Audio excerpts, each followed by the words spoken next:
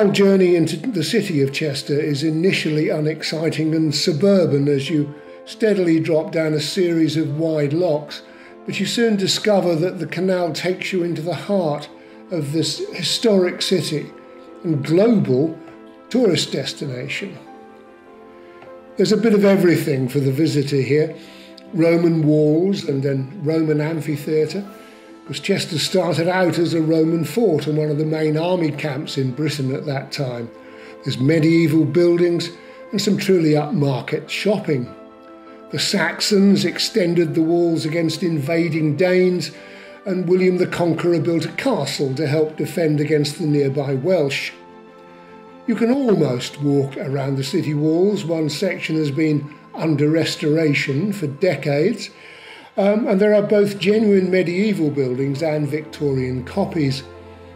Those city centre black and white buildings tend to be the Victorian copies, but the two story Chester Rows are now shops and restaurants, and in these streets you'll see many tourists from across the globe clicking cameras, much as they would in the Tower of London or Stratford upon Avon. It's one of those places. It's also a go to destination for filmmakers looking for backdrops with some history and style. Now, it would be easy to assume in the city centre that the Industrial Revolution left this piece of British history untouched, but the coming of canals and later the railways boosted the population considerably, along with the growth of industry in the nearby North Wales coalfield.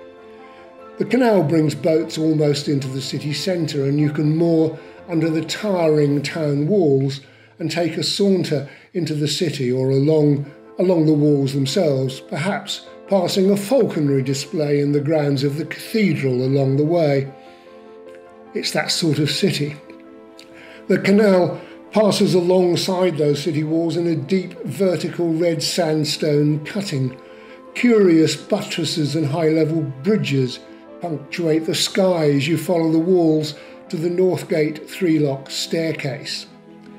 The locks are impressively deep, perhaps because an original five lock staircase was removed to make way to these, for these giants when the canal from Ellesmere Port was linked to the Chester Canal in 1797.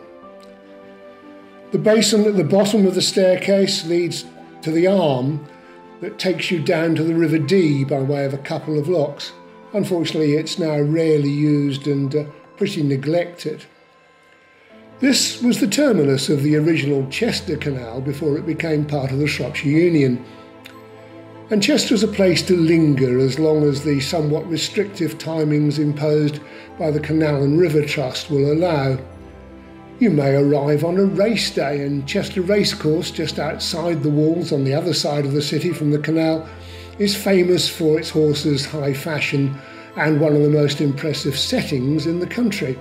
And below the town is the River Dee. Not much of a port these days as vessels have become larger and the Dee has been allowed to silt up. But this is the river that flows down from Llangollen, and the Chester Canal was originally planned to follow that route. You can take a river trip and get another view of the city. In fact, Chester has to be one of the best destinations on the canal system, one sadly missed by boaters who choose to travel in rings invented by those selling canal holidays. It's worth the out and back journey.